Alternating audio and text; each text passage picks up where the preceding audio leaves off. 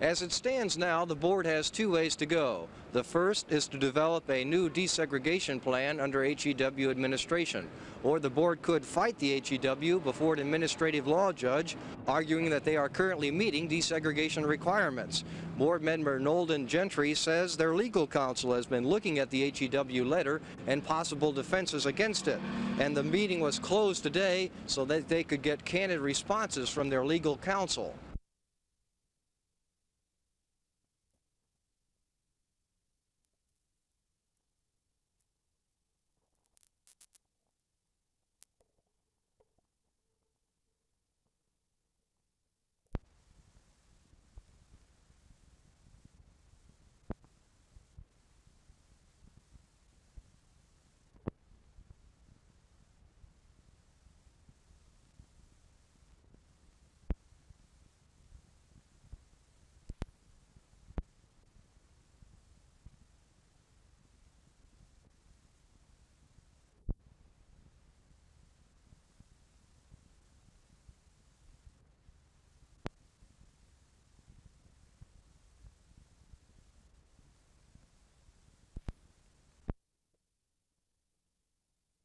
Well, as the mix changes and as the Federal Power Commission's recent rulings on higher prices for flowing gas, old gas, and new gas um, become effective, um, the price will go up and up. The Alaskan gas that we hear about, when that comes in, which may be in 1981 or 1982, that'll be very expensive gas.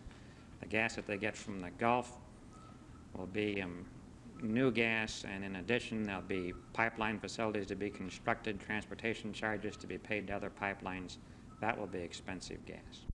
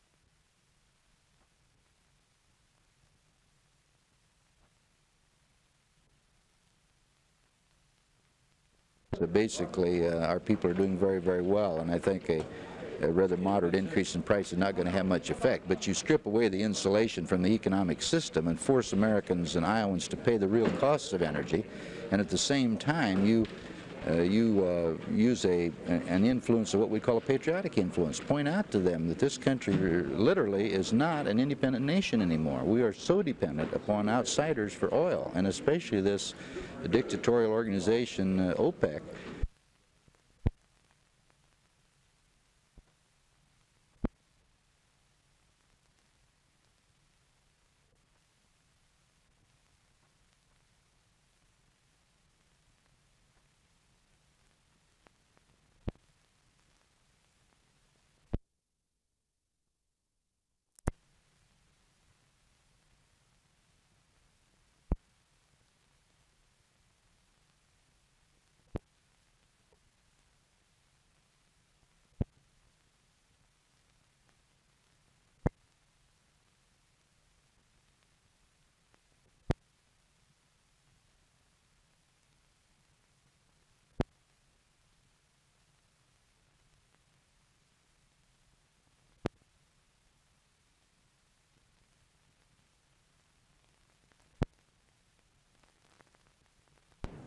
Fuck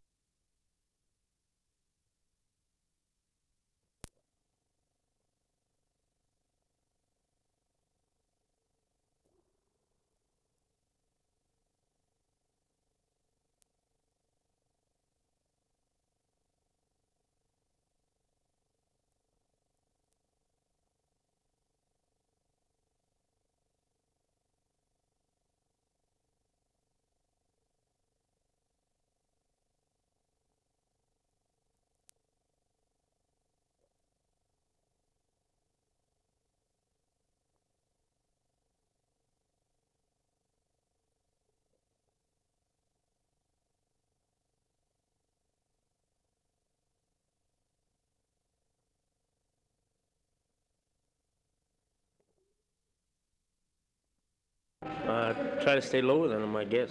I don't know. It's not really. I don't think size has that much to do with it. You know, because we're the smallest center and uh, one of the smallest guards in Rob Stuffle. But I don't know. It just you know, we don't.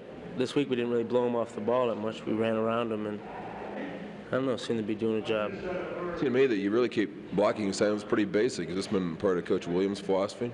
Uh, not just well, Coach Williams, Coach Mason, all of them. You know, they doing a real good job. You know, we you know we have different schemes every week, and we just uh, they run a, Missouri ran a lot of defenses, and we just you know kind of took care of them. Coach Bruce talks about uh, having a small offensive line. You guys are, but he also says you've lost weight during the season. I don't know about you in particular, but he mentioned Al Grissinger uh, down 15, 20 pounds. What about you? Yeah, well, I stayed all right until uh, the Oklahoma game, and I lost 15 pounds in that game, and it, it's slowly starting to come back, but it was pretty hot, you know. How do you get that weight back? What about diet? Uh, drink a couple beers at night. no, just you know a lot of milk and you know try to stuff yourself peanut butter and jelly, a lot of that. Okay, Kevin. What about Colorado this Saturday? How tough Buffalo's defensively? Oh, they're real tough. They got they've got a young defensive line. I played against this guy last year too. It was my first start, and uh, they're, they're real tough. They got a pretty tough defensive backfield, and uh, we're just gonna have to take it to them like we did in the Missouri game. Move the ball against them? Yeah, I think we can keep Dexter healthy like he was. You know, he came out. You know, he was he had a real easy week, and uh, hope he takes it easy this week if he can run as well as he does. You know, Saturday. Oh, I lost. I think it was 47 pounds, and I don't know. It wasn't no secret to it. It was just training, you know. I got up. I started losing it right after the season ended. You know, before we went to that bowl game in Houston. Um, I just ran a mile every morning, you know, and slacked off my food and stuff like that. And you know, I just wanted to get off of the weight and stuff, so I lost it. You came here as a defensive tackle and weighed what 285 or thereabouts. Uh, now you're middle guard. Uh, how do you feel about the change and the quickness that ne- needed at that position? well, I feel good about it. You know, like I said, I lost all that weight. You know, I knew I was too heavy from the start. You know, but I hadn't really, really trained. You know, trying to get that weight off me. But Coach Mallory he wanted me down to about 250, 255, something like that. You know, and especially this year when I came in this year, he told me to report in around 250. But now, you know, I'm comfortable and I and I feel much quicker and I'm moving better now. You know, and my whole game of football is different now. You know, I'm where I'm supposed to be at. You know, at all times and stuff. So I really feel good about it. You're one of the few experienced interior linemen that Colorado has. Uh, how good can the defense be this fall? The defense could be as great as we want it to be. You know, we have some rookies and stuff, you know, that playing for us, but they can play good football. You know, Gary Hartling and Ruben Vaughan, Ruben Vaughan, they have us, you know, they have them starting now at the tackles position, you know, but they doing just as good a job as I'd say a veteran could do, you know. And plus we have, you know, uh, T-Law Lolatai that plays behind me and stuff, you know, is a great football player. You know, I feel like he can play for anybody in the conference, you know.